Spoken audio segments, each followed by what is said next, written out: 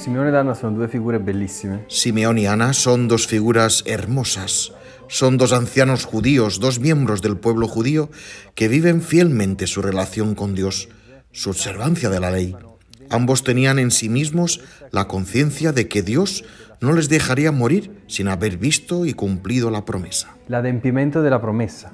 Nos encontramos en la capilla donde se reúne la comunidad católica de lengua hebrea de Jerusalén, la Quejilá. El domingo 6 de febrero, la comunidad celebró la misa unos días antes de la fiesta litúrgica de los santos Simeón y Ana, quienes reconocieron y acogieron a Jesús cuando fue presentado por sus padres en el templo 40 días después de su nacimiento.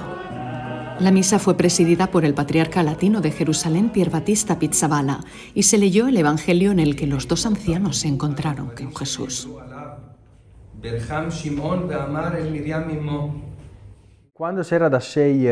Cuando hubo que elegir un nombre para la casa, nuestras casas siempre llevan el nombre de un personaje bíblico.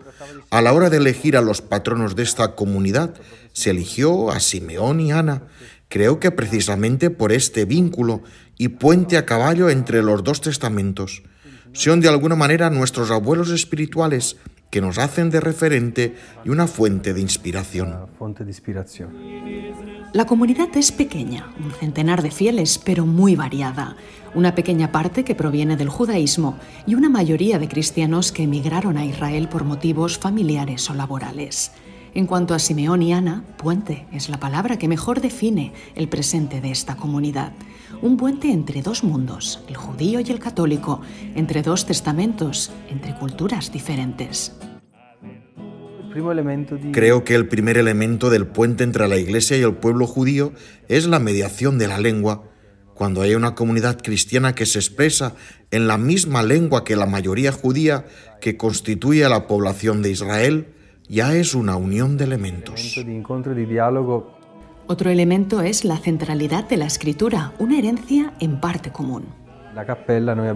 En la capilla tenemos dos libros litúrgicos para el anuncio de la palabra, uno para el Nuevo Testamento y otro para el Antiguo Testamento, precisamente para visualizar este signo de poner estos dos libros, honrarlos de la misma manera.